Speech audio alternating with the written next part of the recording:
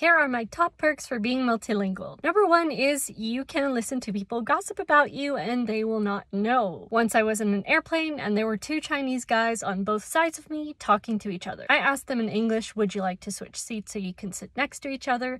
They said, no, no, it's good. And then they switched to Chinese and the one guy said, I want to sit next to the pretty girl. Later, when we had dinner, I looked at him in Chinese and I started talking and he almost fell off his chair. The second thing is you can enjoy music in different languages. Right now on my car ride home, I listen to music in Hindi, Afrikaans, Hungarian, Japanese, Korean, and English. The third thing is if you are looking for something online, you can do it in another language. So right now I'm doing research for my master's degree and a lot of the papers I'm reading are actually in Japanese. It helps me to understand the Japanese culture more and contributes to a richer research experience. There are a ton more reasons why being multilingual is awesome and I'd love to hear your reasons below.